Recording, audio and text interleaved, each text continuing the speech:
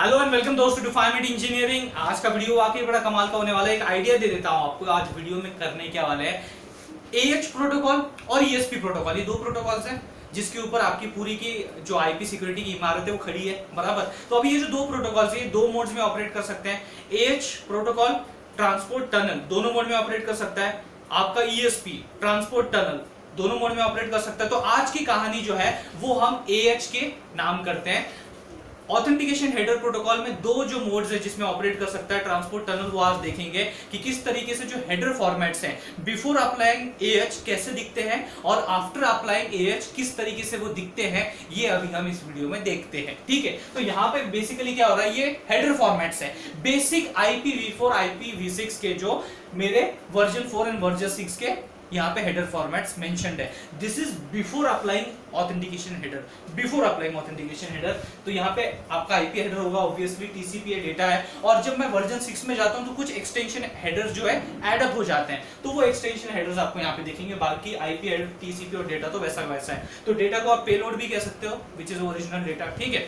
अब ये before applying ए है। अब मैं अप्लाई करता हूँ ए अभी ए अप्लाई करने के बाद ऑब्वियसली मुझे कहीं ना कहीं डेटा में ऑथेंटिकेशन मिलेगा। तो where we are going to put this authentication header तो मैंने वर्जन सिक्स में ऑथेंटिकेशन हेडर यहाँ पे इंसर्ट किया है in between TCP in between TCP and IP header यहाँ पे मैंने बीच में ऑथेंटिकेशन हेडर इंसर्ट किया है to provide the authentication for the data to provide the authentication for the data अभी यहाँ पे क्या किया, फिर आगे मैंने जाके कि भाई, ये जो ऑथेंटिकेशन हेडर है जिस वन यहाँ इंसर्ट किया फॉर द वर्जन सिक्स किसके बीच में? टीसीपी और एक्सटेंशन हेडर के बीच में मैंने यहाँ पे इंसर्ट किया हुआ है for providing the authentication for the data after applying AH का ये नज़ारा है।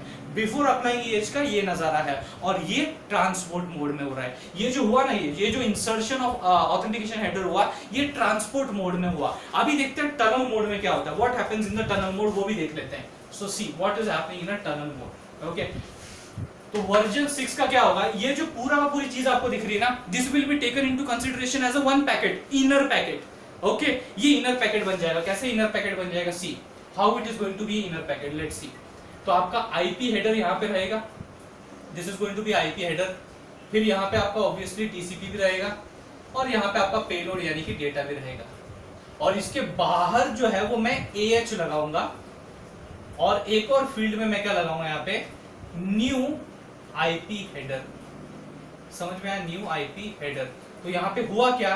ये जो चीज़ है, ये वाली चीज़, ये वाली जो चीज़ है ये आपका इनर पैकेट है। ये आपका इनर पैकेट जो एक्चुअल में पूरा था ना, वो मैंने अंदर ले लिया।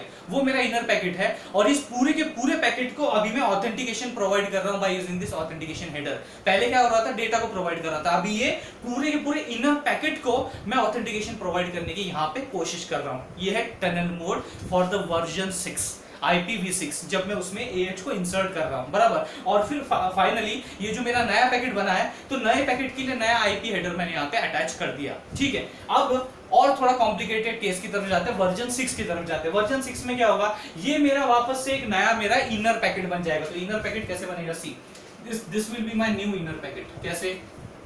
आईपी हेडर तो रहेगा भाई यहाँ पे, ठीक है? आईपी हेडर रहेगा। फिर उसके बाद यहाँ पे जो है, आपका एक्सटेंशन हेडर भी रहेगा। ओके उसके बाद टीसीपी और डेटा है।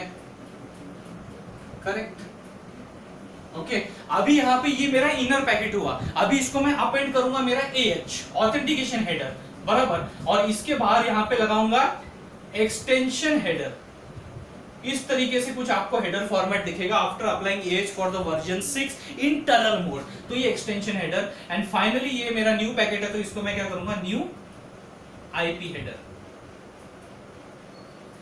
I hope you understand तो ये वाला जो पार्ट है भाई, ये वाला पार्ट ये ये ये मेरा इनर पैकेट है और इस पूरे के पूरे इनर पैकेट को for the version six H मैंने इंसर्ट करने के बाद इसे ऑथेंटिकेशन प्रोवाइड कर रहा हूँ मैं। तो हो क्या रहा था? ट्रांसपोर्ट लेयर में देखा ट्रांसपोर्ट मोड में देखा और टनल मोड में देखा। दोनों का आपने पिक्चर देख लिया कि बिफोर कैसा था एंड आफ्टर अप्लाइंग कैसे हुआ for both transport and tunnel यहाँ पे आप पूरे का पूरा जो इनर पैकेट है उसको ऑथेंटिकेशन प्रोवाइड कर रहे हो for version six this way version four this way और यहाँ पे फाइनली आपका जो ये पूरा बना ये नया पैकेट बना ये न्यू पैकेट क्रिएट हुआ। और ये जो न्यू पैकेट क्रिएट हुआ इसके लिए मैंने एक न्यू आईपी हेडर भी यहाँ पे लगा दिया है।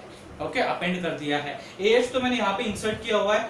Immediately after that inner packet मैंने एएच लगा दिया। Immediately after the inner packet मैंने एएच लगा दिया और इस पूरे इनर पैकेट को ऑथेंटिकेशन प्रोवाइड किया। After applying the AH for the version 6 and 4 in tunnel mode transport mode तो बहुत ईजी था। टनल मोड थोड़ा बहुत कॉम्प्लिकेट था मतलब समझने के लिए, लेकिन वो भी मैंने यहाँ पे आसान करके आप तक बता दिया, पहुँचा दिया है। ये वीडियो अगर दोस्तों समझ में आ गया होगा, पसंद आ गया होगा तो लाइक कर दीजिए और ज़रूर इस वीडियो को अपने सारे दोस्तों के साथ शेयर कीजिए। थैंक्स अलॉट दोस्तों फॉर वॉचिंग दिस वीडियो